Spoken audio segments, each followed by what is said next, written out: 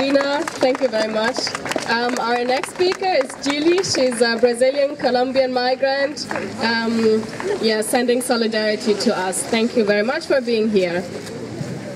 Äh, ja, wie gesagt, ich bin eine transnationale Lateinamerikanerin und auf dieser Stelle mache ich diese kurze Rede. Äh, und fange ich mit der Überraschung, dass ich am 3.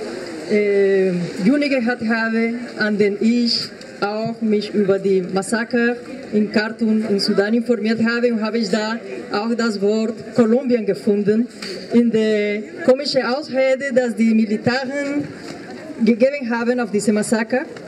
Sie haben gesagt, hätten Kolumbien in Khartoum gesucht. Und das hat mich äh, besonders betroffen. Musste ich auch mich fragen, was, was bedeutet es eigentlich, Kolumbien in Khartoum? Wissen wir natürlich, es ist eine absolute lächerliche Ausrede, um die Massaker äh, tatsächlich zu konkretisieren.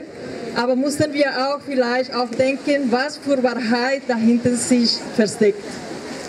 Und äh, wenn man liest Kolumbien und Paramilitar Paramilitarismus zusammen, in, des, in derselben Zusammenhang, kann man auf die grausame äh, äh, Idee, dass Paramilitarismus, Kolumbien, Gewalt, diese Art von Gewalt gegen Aktivistinnen ist auch eine Tatsache. Tatsache, dass vielen vielleicht nicht kennen, aber Kolumbien ist ein Land, das äh, seit den 70er Jahren große Gewalt gegen Aktivistinnen, gegen Landleute, gegen Indigeninnen, gegen Afrokolumbianer und Kolumbianerinnen äh, erlebt. Es hat mich auch äh, noch an den Gedanken gemacht, wie in Kolumbien, wie in Sudan jetzt diese Regierung auch Elemente von dieser paramilitarischen Macht hat. Es ist auch so in Kolumbien und es ist auch so in Sudan. Also wir haben viele äh, Gemeinsamkeiten und eigentlich, ja, Kolumbien ist in Sudan und Sudan ist in Kolumbien.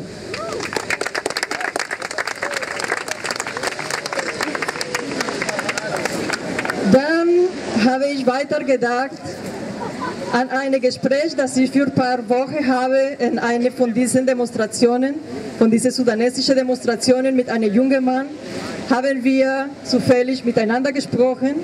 Es war ein Brandenburger Tor und dann kam zwischen uns dieser Austausch über unsere Länder und kam das Wort Kolonialismus auf den Tisch und die Person, dieser junge Mann, hat mir gesagt, ey, hör auf, wir sprechen zu viel über Kolonialismus.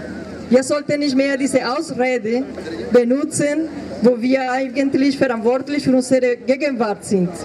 Und ich denke, nein, wir müssen doch über Kolonialismus sprechen und wir müssen weiter immer mehr über Kolonialismus sprechen und über die ganze Geschichte, die heute uns bringt, wo wir sind. Wir können nicht einfach ignorieren und sagen, wir sind von Null angefangen. Wir haben doch in Lateinamerika eine 5 27 Jahren Geschichte mit Kolonialismus. Dieser Kolonialismus verbindet auch Lateinamerika und Afrika. Waren 400 Jahre Transport von Menschen durch den Atlantik. Es macht uns heute sehr verwundet. Und leider sehen das wir kaum. Wir sehen nur Stereotypen. Stereotypen, die sind manchmal auch mit dem Blick von Europa, Hollywood-Filmen, aber nicht sehen uns wir nicht in den Augen. Und das ist, was mir fehlt, wenn wir über Solidarität sprechen, dass wir uns in vier Augen sehen können.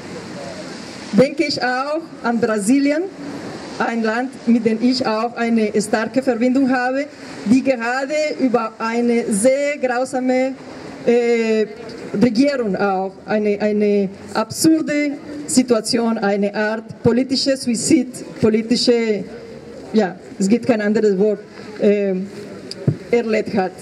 Brasilien hat eine Zukunft gehabt. Brasilien war in einem bestimmten Weg, vielleicht mit vielen Fällen auch, aber haben wir erlebt, dass 22 Millionen Menschen von der komplett Armut, von der komplett Elend ausgenommen wurden. Und da fangen kleine Reparationen für die schwarze Bevölkerung auch stattzufinden. Brasilien ist, vielleicht weiß ihr das nicht, der zweite große schwarze Bevölkerung, Bevölkerung auf der Welt nach Nigeria. Also, in Brasilien befindet sich die zweite große Bevölkerung auf der Welt und erlebt täglich viele, viele Rassismus.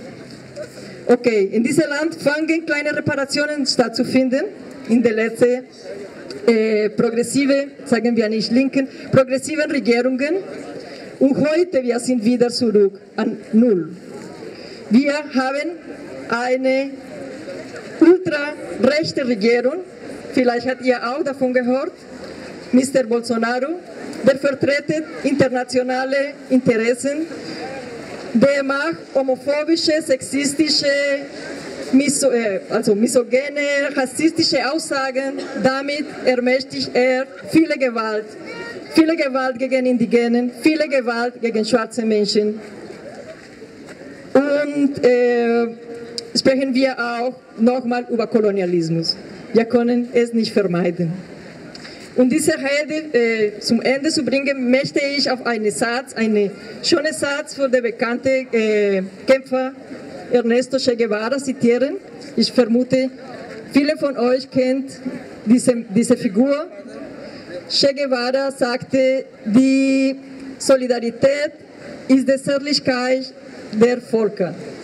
Und das klingt ganz schön, wenn wir suchen genau, was es bedeutet. Es klingt ganz schön, wenn wir denken, wie wären wir zärtlich miteinander, Lateinamerikaner und Afrikaner, Menschen, die aus diesen Kontinenten kommen. Wie können wir unsere Ignoranz gegenüber einander zu kämpfen? Und wie schaffen wir Wärme, wie schaffen wir nebeneinander zu sein, von der Geschichte weiter und der gemeinsamen Geschichte zu lernen? Wie schaffen wir äh, diese Stereotypen, diese komischen Stereotypen abzubauen. Also lass uns zärtlich miteinander. Äh, ich persönlich lerne viel von euch, Sudanesen und Sudanesinnen. Ich lerne äh, und bedanke mich für die Chance, die ich habe, in dem, eure Demonstrationen mitzuteilen. Äh, ich lerne und bewundere ich mich von den Leuten in Sudan, die trotzdem nach dem Massaker wieder auf die Straße gegangen sind für den Mut, für die Frauen insbesondere, so wie schon hier äh, gesprochen wurde, diese unglaubliche Liebe, Macht, die sie zeigen, diese Präsenz, ist sehr inspirierend. Lasst uns bitte euch auch für uns inspirieren. Denkt an die Kämpferinnen, an den Menschen in Kolumbien, in Mexiko, in Honduras, die Mapuches, die äh, Guaraníes, die Indigenen in Lateinamerika, denken an die Afro-Lateinamerikaner, bitte, und lernt mit den 500 Jahren oder mehr als 500 Jahren Widerstand, das in die Kontinent, in meinem Kontinent die Menschen leisten. Dankeschön. Danke dir, liebe Gilly.